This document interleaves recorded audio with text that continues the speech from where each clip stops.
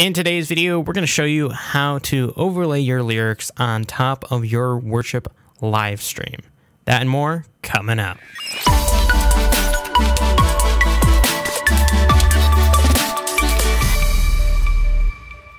Hey, what is up everyone? Welcome back to another video. My name is Edwin from Church Creatives, and today we're going to go ahead and show you how to set up uh, lower thirds for OBS um, through Media Shout, through their stage display, so you don't need a second um, display or second PC running the stage display. Um, I did this for vMix, and I had a request to do it for OBS. Um, process is about the same um, but a little bit different through the menus. So I'm just going to go ahead and show you how um, right now. So let's go ahead and get into it. Um, also, I just want to say thank you everyone for um, subscribing down below. And if you're not already subscribed, subscribe for some more videos and hit that like button. It would be greatly appreciated. Anyways, more uh, after the self promotion, let's go ahead and get into it. Um, here, so this is one of the songs that I have in one of our service uh, services that we did last week. Um, Your Grace Enough, pretty common worship song. Um, so what we're going to do is we're going to go ahead and um, create this to the stage display. Um, so this is what you're going to be displaying up front on your screen projector or something like that. But we actually have this stage display, and not a lot of people use it, or they use it on a back TV, but we're going to take advantage of it to format it for our lower thirds. Um, so let's go ahead we're going to want to click the sync all pages to stage. And what this is going to do is this is going to create um, all of them on here. And it's going to have the same formatting. So what we're going to want to do is um, we can change the effects so we don't have like a text background. Um, or maybe want, or that was actually an object outline of the text box. But this text box background, we could go ahead and change this. Um, so I'm going to change it to a um, different color because in OBS I have a, an example for a camera and it's blue, um, but do something that um, is good for you. If you have uh, maybe an oranger or a yellower room, do something maybe the opposite of that. Maybe go with orange or do an orange color or something like that. We're going to go ahead and select orange because mine's blue and I kind of like a little bit of contrast. That doesn't look that great. Um, let's see if I can get something. We already have blue. Um, here, this, this navy, or not navy, this rich, like, wine color, maybe-ish, um, kind of looks good. So let's go, oh, gotta hit apply. So let's go ahead and uncheck that again. Let's get that navy color, hit apply. There we go. So now we have a text box. Um, and what you're going to want to make sure is that it stays within this um, formatting or it's not going to be the same we need to go back to this one, or it's not to um, actually work once you apply it all. So let's apply it all and hopefully this works. So, okay, yep, they all fit. Good. And for the title slide for our lyrics, um, I don't usually do it. Uh, that looks pretty good there, and we can implement that into our stream. Um, this, for some reason, doesn't want to work, so we're going to have to format it differently. Probably, I believe I added as just a text box. That's most likely why. Um, what I would do is I would actually just copy this and paste this here, but I'm actually going to delete this because we don't need this slide, actually. Um, it was a mistake that I did, but we fixed it later, so... Um, yeah, that's just a mistake on my end. You shouldn't have that issue. Um, so yeah, make sure you right click and then apply formatting to all pages. This will help this. And then it should not, if you switch back over to main, it won't affect the main. Um, so if we just fire this here, we can see main and stage display. But if you see these both being the same, what you're going to want to do is this mirror main, you're going to want to click this off. And that's why um, that is going to turn black for the stage display because we don't have anything on the, for the stage display for the title slide. If we go to the verse 1, you see like the text right here. So this will be acting on your stage display.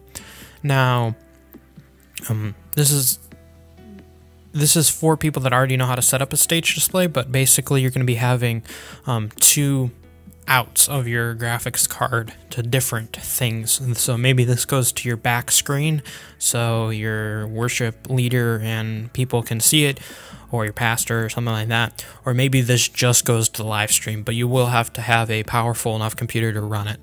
Um, but um, that's kind of, hopefully, you already know that. So, while we have this, um, this is going to be, uh, so you can put it up full screen right here. It's exporting. I actually need to change my display settings real quick for my stage. There we go. Okay, and now we're going to go ahead and add this. I'm going to make sure that my stage is toggled and my main. Um, and then we're going to go ahead, go into OBS here. This is what I already showed you how to set up in one of my other videos. I'll go ahead and link it now. Um, so there's camera 2 without graphics and the lyrics. I have this in this right hand corner. Um, so that was if you were getting like the main screen feed, which we can go ahead and actually change that here. Um, it's actually on my other monitor. So this is what it would normally look like, but we're going to go ahead and do it with a lyric overlay. Um, so we're going to go ahead and copy this just duplicate here, camera one, um, if I can spell, lyric overlay, lyric overlay. Um, so then we uh, have a different scene. What you're going to want to do is click, uh, right click, and then add, or go down here and click this plus button. Then click display capture, or any other way that you're getting it into here.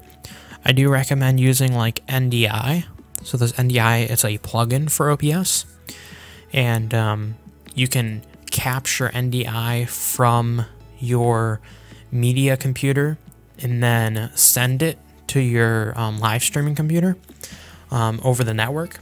It's really cool. Um, but right now we're just going to use display capture. we're going to go ahead and we can just name it oh, lyric overlay. Oh, that art name's already in use. Lyric, lower third. Overlay. So you see, you can see your own screen here. You're going to want to make sure you select the right display. I have three displays, um, so that's why I see all these. But you're going to want to either select um, the one that you have the stage display on. And I recommend if you're going to do a, uh, a display capture with this, if you're using the same computer, you do uh, do not select ca uh, capture cursor, or you'll be able to see the cursor if someone decides to move it over there. So um, then click OK. Now you see that it's covering the whole screen. You can't see your camera behind it. Um, so what we're going to do is we're going to highlight it here. So you're going to see the red.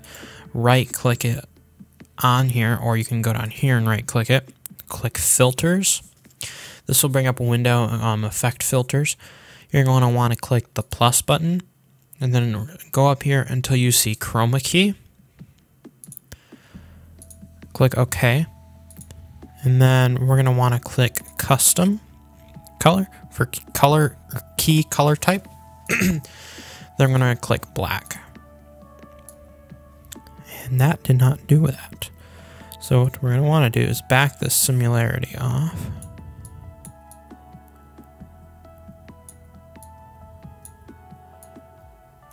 And hopefully this will work.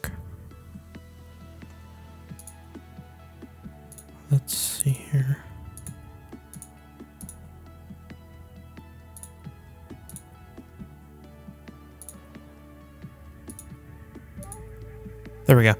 I did the wrong key. It's going to be the color key. Sorry, not the chroma key. So let's go ahead and remove that here. So it's going to be the color key. My bad here. Um, so now it's, you can see the thing behind it. You can adjust these if you need to. Like that just removed the background, which normally you would want to remove the background separately, but you can do that if you want to. I see a little bit of black around the edges, so if you just um, put it up just a little bit, do that smoothness, that's how smooth it is. Um, but that looks pretty good for my liking. Um, now what I'm going to go ahead and do is I'm going to go ahead and resize it. So just move this here. Um, and you can keep it pretty full screen like that, or if you just want to move it side to side, you can do that, but then you only have like a little bit. I like showing a lot of the camera, and um, I wouldn't make it too small, but I wouldn't make it too big either. People are going to either watch on uh, televisions or their phone, so that's that's the the kind of guideline that I stay by. Make sure it's good for phone and a TV. Um, so that's pretty good here. And um, for this, you're going to want to make sure you either go down to three uh, three lines or two lines. Anything above that, and I think it looks um, a little bit much, at least for me. Um, but you can do what you want, of course. So that looks pretty good for me. I like that how it is. Um, and if I go ahead and move this to the side here, I'm going to try to make it so you can see here. But if I go ahead and advance to the next slide, I'm just going to move this over just a little bit. If I advance to the next slide, you'll see that it updates. Um, here I can click this button right here. It's updating on the main display and the stage display. Um, and that's how you're getting the overlay and so I really like it. It's a really simple way to add it. You don't need to have a separate computer and operator running another lyric thing. And it just um, has a good look to your stream. Um, and of course you don't have to put a box behind it. I only do that because our streaming environment is really bright. So if you just have like white text you can't really see it that well um, so generally you can put something behind it. But say you have a, um, a dark room or like you have a stage environment where it's pretty dark, you can just take this text box off altogether. Let's go ahead and apply. And then there you go. See, it's nothing and you can make sure that it works with the three layers. But then you can move, up. that's the camera. And you can just move this down so it's the bottom of your screen. And then just, you can click through. Here, let me go ahead and move this.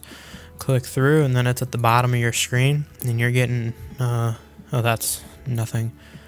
Um, but here, if I go back, you can see, um, you have that and it's an overlay and it's really nice. So, um, if you have any other questions, let me know. I know that this was requested by a viewer. Uh, so I hope you found this useful. And if you have any other questions, let us know down in the comments below. Um, but other than that, thank you so much for watching this video and uh, stay creative.